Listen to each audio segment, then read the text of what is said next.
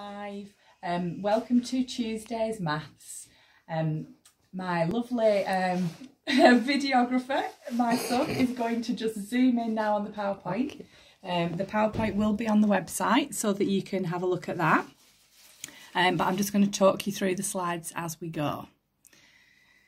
Uh, so today our maths lesson is to read and interpret tables, but we are going to be practicing lots of our math skills that we've already learned. So things like reading larger numbers, um, addition and subtraction. Uh, we're going to do a little bit of rounding.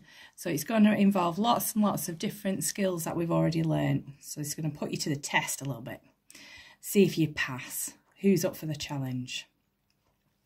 So on your sheets that are on the website, um, you, some of you are going to have um, a dive-in sheet. This is the easiest sheet. This is the sheet that I've set for the red and the green groups.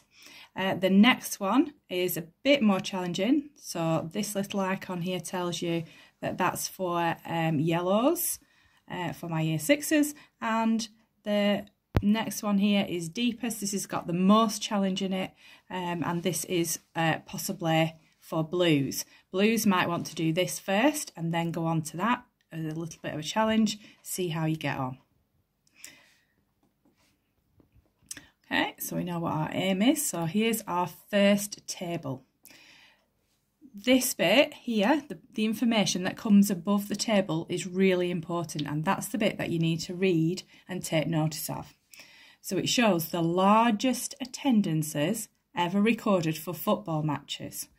So we can see here we've got Wembley Stadium, Salt Lake Stadium, um, Maracana Stadium, Hampden Park and Estadio da Luz. And you can see here, these are the maximum attendances, the largest that's ever been recorded in all of those different places. So here's our first question. So it's asking us which stadium had the highest ever attendance for a football match. So you remember earlier I said that we needed to have a look at the biggest numbers. So we're having a look at all of those and comparing them. So you can see that they've all got 100,000 in them. So we need to go to the next column to have a look at what which one is the largest. So we can see in the next column we've got a 9 is the biggest number in the next column. So that means that the Maracana Stadium should have the highest ever attendance for a football match. So shall we see if we're right? There we go, and we are. Let's have a look at what the next question is. So the next question is a bit more tricky. It's asking us what's the difference. So who can remember what's the calculation that we need when we're finding the difference? That's right, it's subtraction between the highest ever attendance and the fifth highest ever attendance. So what does that mean? So we already know from our previous question, the highest ever attendance ever in a stadium was at this stadium here, 199,854. And the fifth highest attendance, so we've got five stadiums here, so the fifth highest ever attendance will be the one that's at the bottom, the one that's the lowest number, which is Wembley Stadium at the top here. So 126,047. So we'd have to do a calculation. We'd have to do 199,854 and we'd have to subtract 126,047. So you can stop the video now and have a go at that calculation. Let's see if you were right. Did you get 73,807? Well done if you did.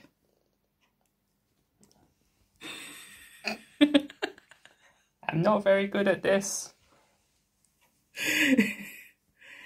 so our next question is what's the total combined attendance of the second and third highest attended matches?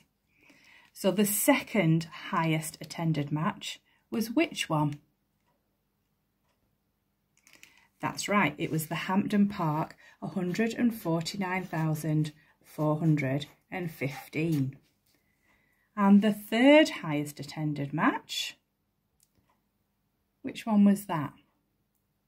Yeah, that's right, that was the Estadio de Luz. And and that was 135,000. So if we're having the total combined attendance, what calculation do you think we need to do? Yeah, that's right, we need to add them together. Well done. So we'd write a calculation like this. Can you have a go? You can pause the video now and have a go at that calculation.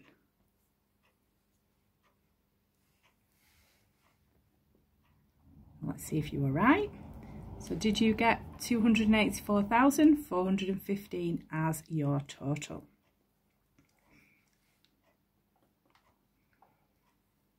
Okay, our next question was which stadiums have recorded an attendance of between 125,000 and 136,000?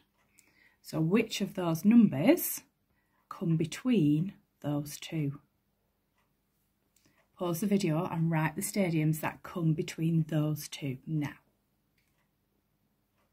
Okay, let's see if you are right. Well done if you said those stadiums.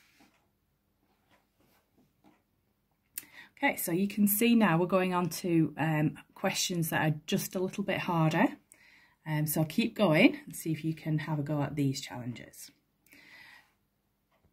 So again, the information at the top of the table is really important. This shows us the cost of car parking in a car park. So you can see under an hour is free, between one and two hours, two and four hours, four and six hours, and all day. So now we've got a true or false question. So we need to think about this quite carefully.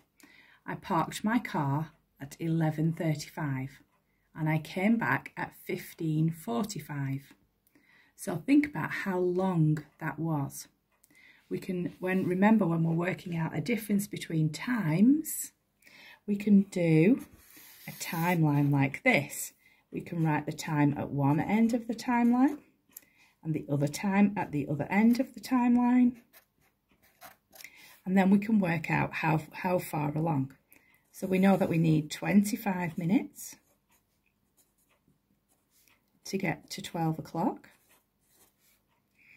and then we're going to need an hour to get to one o'clock and another hour to get to two o'clock. Remember this oh, this is 24 hour clock time so this will be 3.45 p.m. So we need another hour to get to three o'clock. And then we need to get to 45 minutes past, so we need 45 minutes and then we just add up the times along here and we know that we can work out that it's 3 hours 45 plus 25 so that's going to be 4 hours and 10 minutes altogether. Okay, so if we come back to the question, the £3.50 that we put in the parking machine was the correct amount for the time I spent. So would it cost £3.50 for that amount of for that amount of time? Is £3.50 enough for 4 hours and 10 minutes? What do you think? Let's see if you are right. Were you right? Is it false? Yeah, because the cost would have been £4.50 because it was over four hours.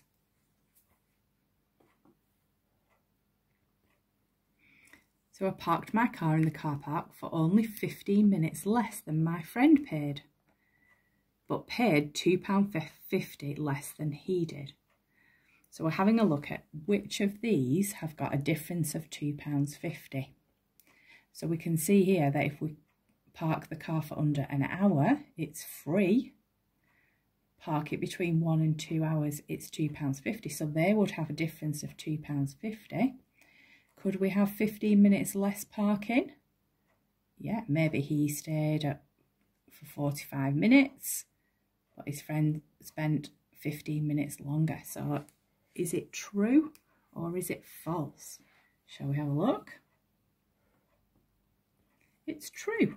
He could have parked his car for 50 minutes. This would have been free. And if my friend parked for six, 65 minutes, which is 15 minutes more, This would mean he'd park for over an hour and it would have cost him £2.50.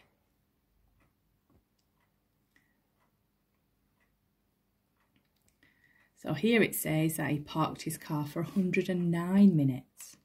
So we need to think about how many hours that is. Well, we know that one hour is 60 minutes and we know that two hours is 120 minutes. So we know that that person's probably paid about £2.50. Okay, for 235 minutes, how many hours would that be? So again, if we count in 60s, 120, 180 and 240 would be four hours. So it's just less than four hours. The cost of the parking was £2 more than mine. So is that right? So do you think that is true or false? False, of course. His parking would have cost £2.50, as we said. Um, and his friend would have parked for three hours and 55 and therefore he would have had £3.50 to pay and it means it's only a pound more, not two pounds more. Okay, so here we've got a table and you can see that there's some information on the table missing. How would we fill in the missing amounts? Okay, so if we can work out from the top line here that the shot put and the discus are added together to get a total. So here we've got Connor's shot put, his discus, we add them together, what would the total be? You can pause the video and work that out now if you want. And then we've got Cassia who's got her shot put missing, but we know the total distance and we know how far she threw the discus. So this time, would it be an add? Or would it be something different? Yeah, that's right. It would be a subtraction. So we'd take this number away from that number we'd work out what the subtraction, what, uh, what the answer was for the shot put. Okay, you can stop the video and have a go at that calculation now. The next one we're going to work out, we've got the shot put, we've got the total distance, and again, to find that difference, we'd have to do a subtraction. Can you work out the last two boxes and what they would be? You can stop the video if you need some time to do that. Here we go. And here's what our answers should be. Did you get those? Well done if you did. So we've got our information here Okay, and it says rounded to the nearest metre. What's the total distance thrown by the three furthest shot put throws? So if we have a look down the shot put throws, which are the three furthest? Here's the one that's most, then the next one, and then the next one. So it's these three that we're adding up. So we add them up, and then we have to round them to the nearest metre. Can you remember how to round? We round by looking at the decimal number? Is it more than 5, 6, 7, 8 or 9? If it is, then that number goes up. If it's not, the number stays the same. See if you can work out what the rounded number is. Let's have a look and see if you're right. So that's the calculation. And rounded to the nearest metre, you can see that here it's a 4, so that number stays the same at 43. If the distance from the discus throw are ordered from longest to shortest, whose throw is in the middle? Okay, yep, Jaspal's throw is in the middle distance. Well done.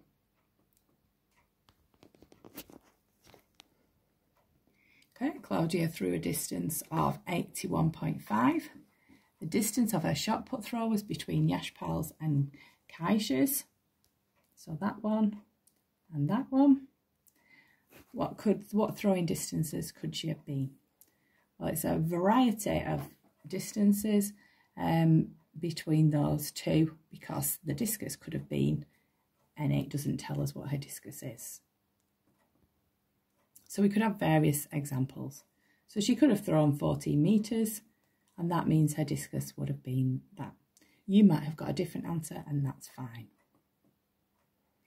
So you can see we've got some diving in sheets for you to have a go at now. You don't have to do all the sheets. Remember to have a look at the symbol on the top is which part of the sheet you need to do. Good luck guys. Hope you do well. Bye bye.